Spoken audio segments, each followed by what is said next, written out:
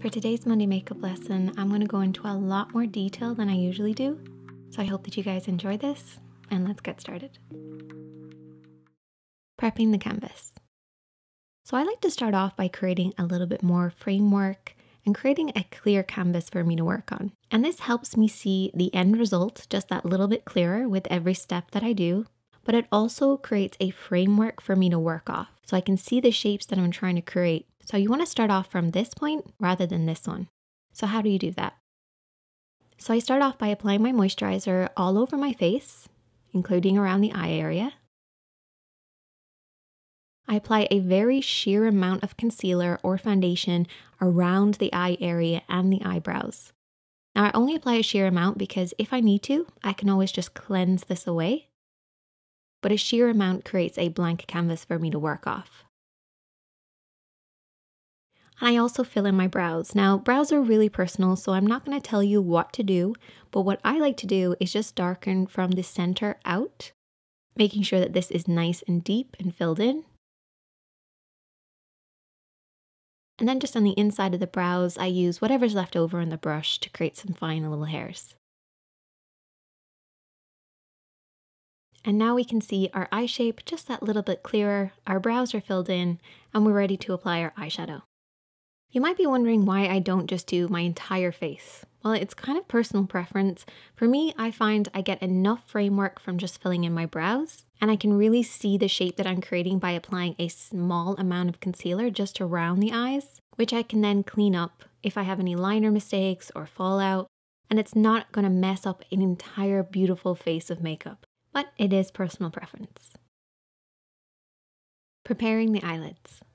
So why do you need to prep the eyelids? Surely eyeshadow that's designed for the eyes should just be able to go onto the lids. Well, the eyelids are actually really thin and delicate and sheer, and makeup doesn't hold on to thin, delicate areas of skin compared to other areas of the face or body. That's why when you swatch something on, say, your wrist or your fingertips, it looks a lot more vibrant compared to when it's applied onto the lids.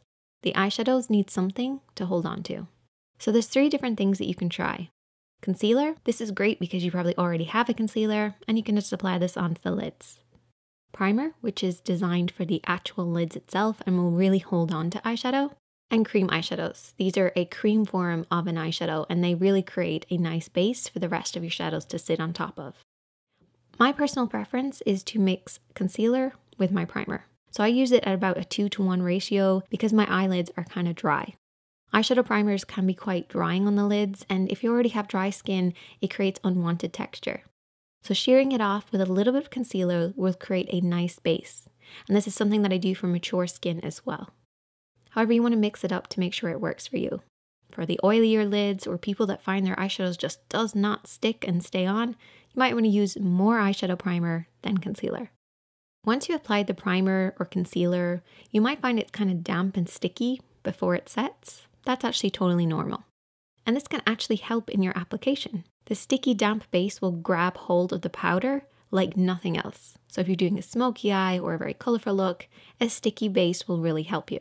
However, it does make blending a little bit more difficult, so for beginners, I would actually recommend applying a sheer amount of a neutral eyeshadow over the base to make sure it's a soft powdery effect. Don't worry, your shadows will still hold on to this base, it'll just make the blending process so much easier. Parts of the eye.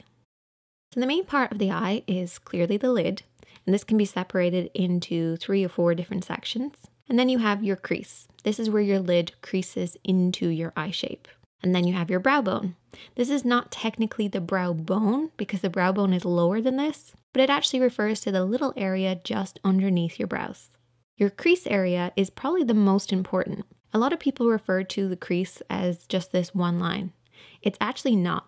The best way to think about it is any area above this point, but stopping underneath the brow bone or the little area underneath the brows. And when you're blending, you really just want to stay within these points. Now, this looks really complicated. I promise you it's not. When you're applying eyeshadows, you want to keep them within these imaginary points. Using the edge of the nose, edge of the eye, and the edge of the brow, you create an imaginary line. This is the stopping point for most blending.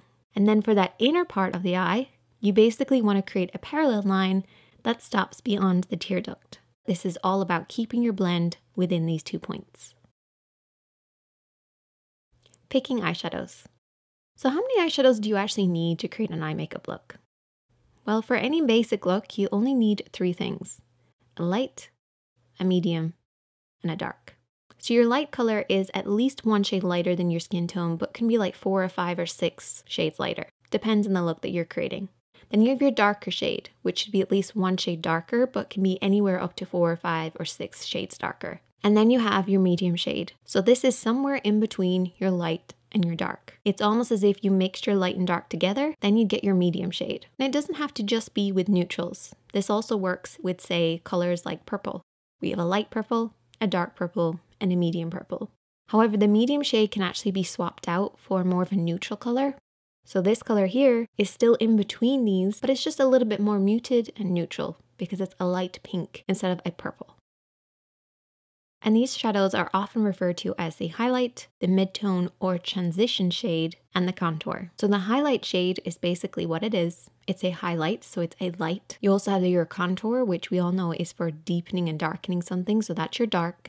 And then you have your midtone, or as a lot of YouTubers refer to this as a transition shade.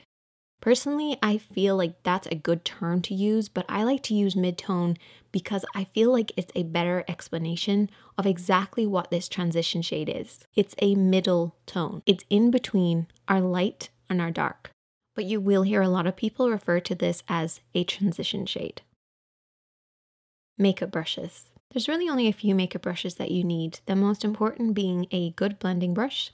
This is going to create that soft blended appearance a small brush, something like a pencil brush, or anything that's nice and small that you can do some detailed work with. This is actually my favorite one for beginners, the Blank Canvas EO1. Highly recommend it because it really applies the shadow while keeping it nice and soft and blended at the same time. So it does a lot of the work for you. And then you have a flat brush. It's not essential to use a flat brush. You can use your fingertips, a Q-tip. However, you will get more precision from a flat brush.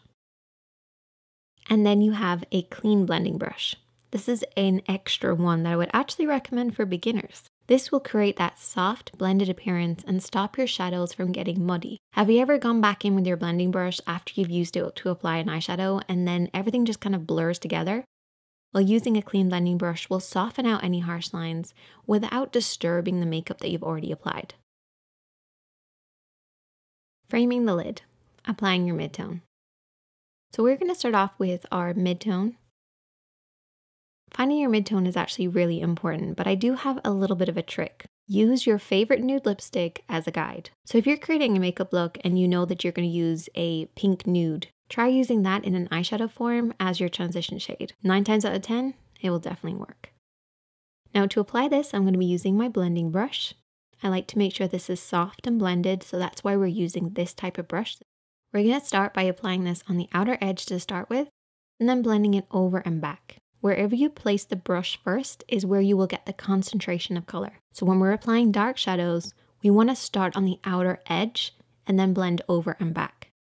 Anytime we pick up some shadow, we start on the outer edge again. And then you can sweep this over and back in what's referred to as a windscreen wiper motion. But really it's just moving the brush over and back using the shape of your eye as your guide blending upwards towards the brow bone. By the time it gets to the brow bone, it should be nice and sheer, with the concentration of the color being in the crease area. Just make sure it's nice and soft and blended. That's the most important thing with a midtone. Also keep an eye on your blending. Make sure that you are staying in between these two parallel imaginary lines. Adding depth. Taking our contour shade or our dark shade we're going to apply this with a small brush. Whenever I'm applying dark shadows, I like to use something that I have most control over. And the smaller the brush, the more control you're gonna have. So taking that dark shadow, we're gonna apply this on the outer edge of the eye. And I want you to basically stamp this and press this on the outer third of the lid. Really making sure to get right by those lashes and then slightly into the crease. Now, when I say to get deep in the crease, I mean nice and low. So we're applying the shadow in this sort of moon shape. Once we've done it in this area, we can use whatever's left over in the brush to softly blend this out. but your midtone is always higher than your contour. Always.